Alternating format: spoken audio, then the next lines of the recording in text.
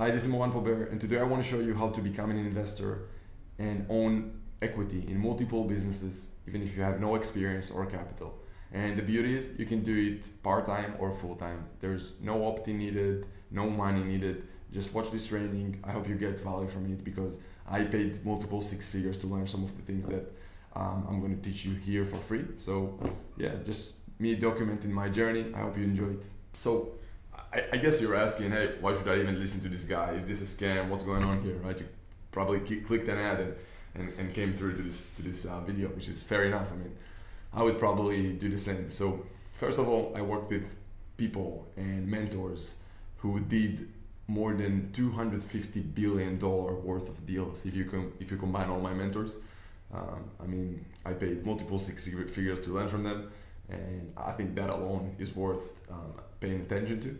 I mean, I, I've personally been doing it for the last two, three years full time. This is what I'm doing 24 7. I'm out there buying businesses, looking to buy businesses. I'm literally talking to business owners every single day. I personally was involved in 12 different businesses over the last 10, 11 years now, some of them seven figure businesses.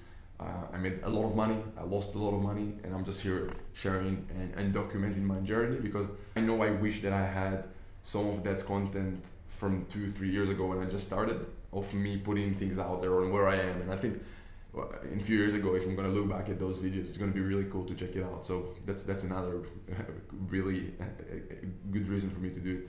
So yeah, pretty much I've learned from mentors who did billions in deals.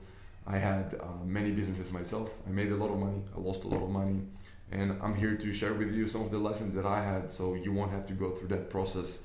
I mean, the learning curve that I had to go through to become what I am right now, which is by no shape or form any huge um, uh, mogul or something like that. I'm not Richard Branson or Marcus Lemonis yet, although I'm do aspiring to go there. But I think that some of the things that I've been to, some of the mistakes that I've I made, I think can, can help you a lot and teach you a lot um, throughout your process as well. If that's a path you want to take of becoming an investor, buying businesses, and and just becoming a, a shareholder in multiple businesses. So yeah, if you'd like to learn more about this world of buying businesses, investing in businesses, becoming an investor at whatever stage you're at, subscribe to this channel and um, comment below. Let me know what you think and let me know what questions you have so I'll know what kind of videos to create. Just to give you an example of what you can achieve in this space, like my first deal was an app company. I bought a, a, a very not successful, to put it, uh, if to put it in the right words, app company.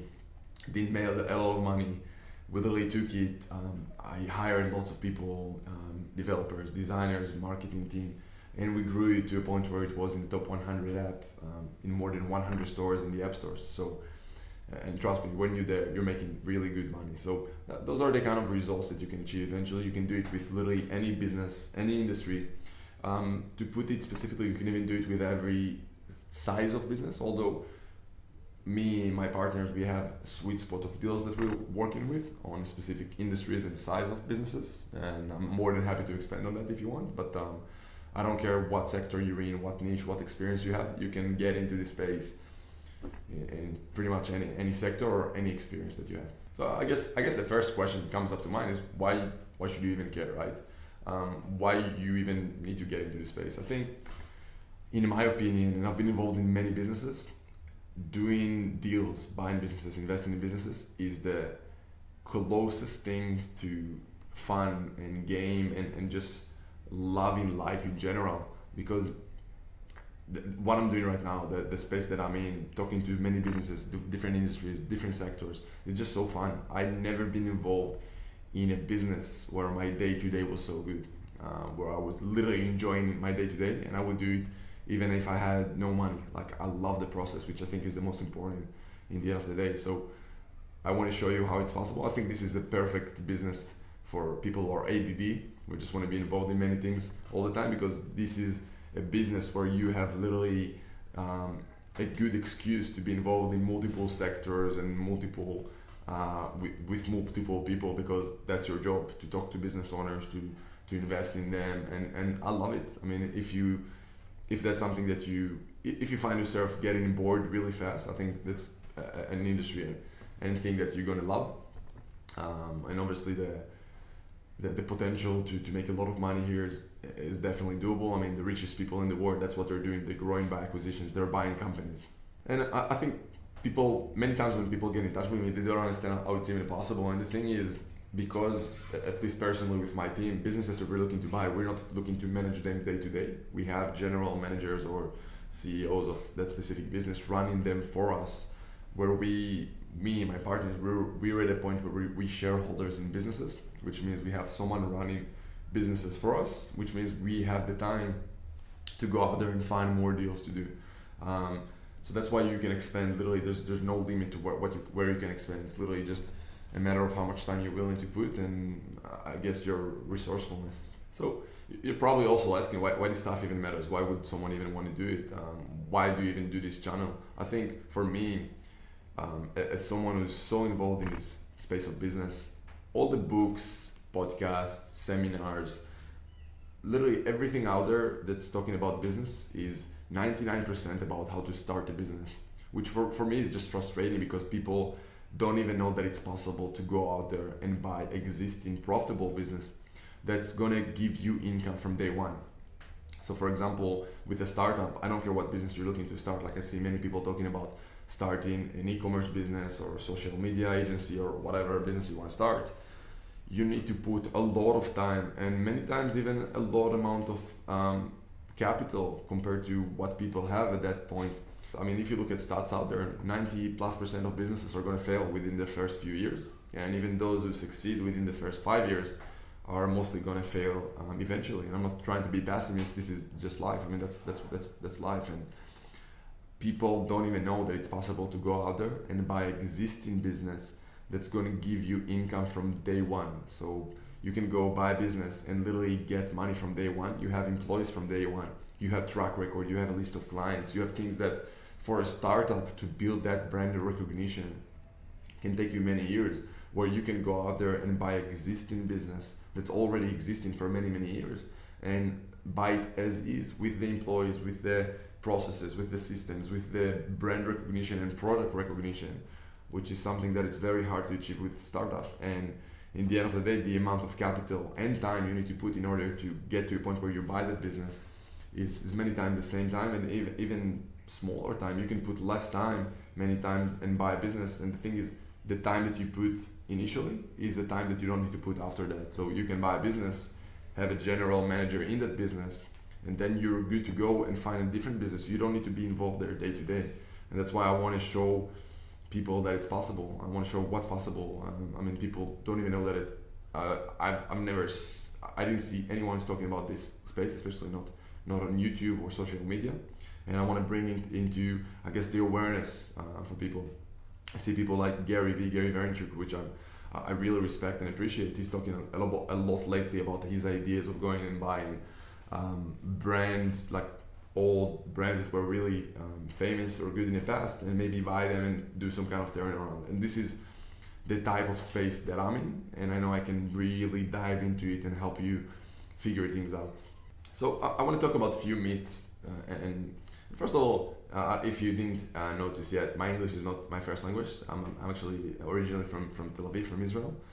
And if I have any English mistakes or grammar mistakes, uh, deal with it or uh, leave this channel. It's all good either way. So I want to talk about a few myth, myths that people have when they're thinking about buying a business or when they even look at about that space of becoming an investor. They don't even know it's possible because of those things. So there, there's few reasons why people won't even get into this space. Um, and I, I, think the biggest one is that they don't have the capital to buy a business. And people don't understand, but the richest people in the world, they're mostly not using their capital to grow their wealth. They're using financial partners, lots of ways to. Financial partners are lots of different things, uh, but in general, they're using other people money in order to grow their wealth.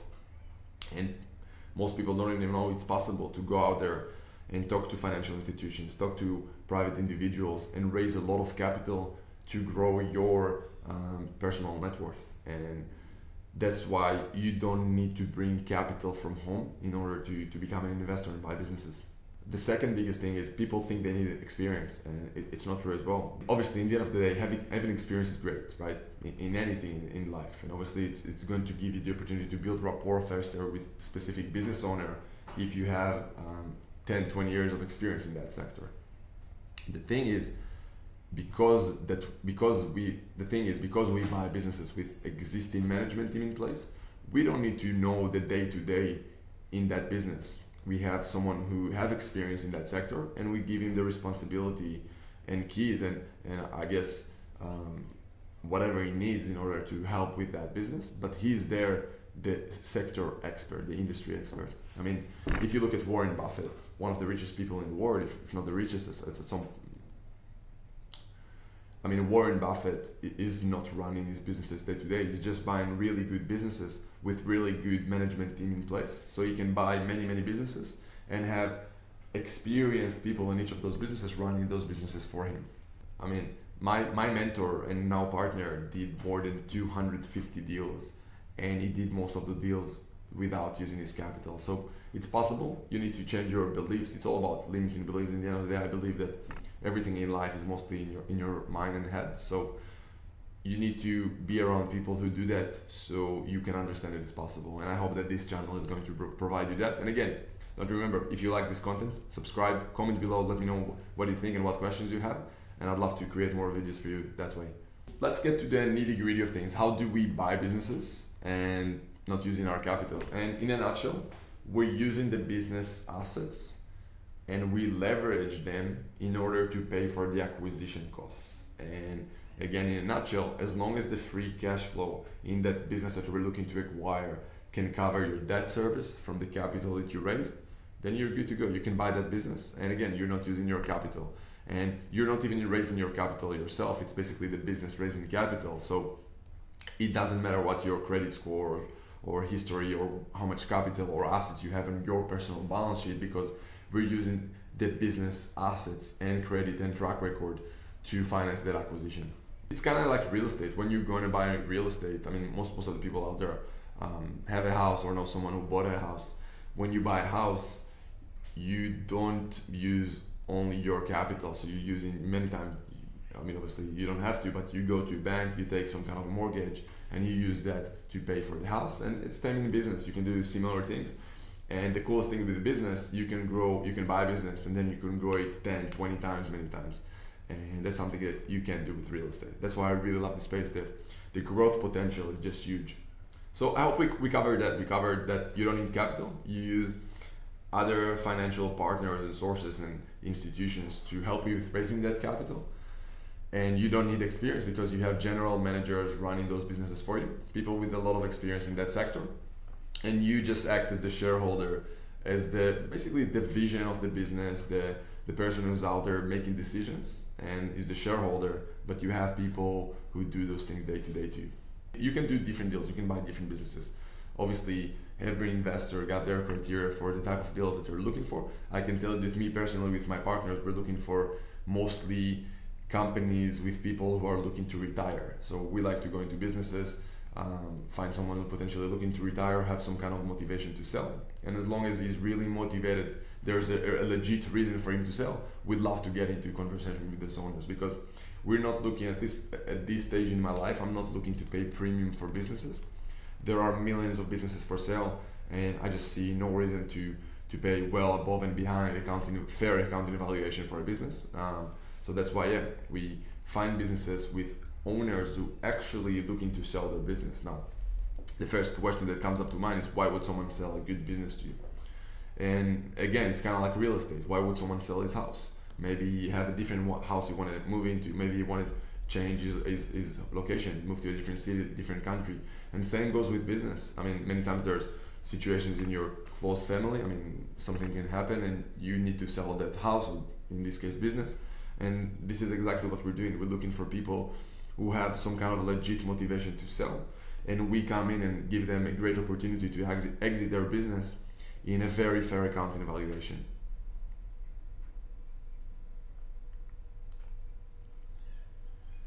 So yeah, in a, in a nutshell, you can buy so, and you you can buy really good businesses that way because many times those business owners who are looking to retire, for example, don't have children to pass that business to um, they don't have any, um, I, guess, legit retirement plan, and that's what we help them with. Now, the third question that many people ask me is how do you find the, the right business for you?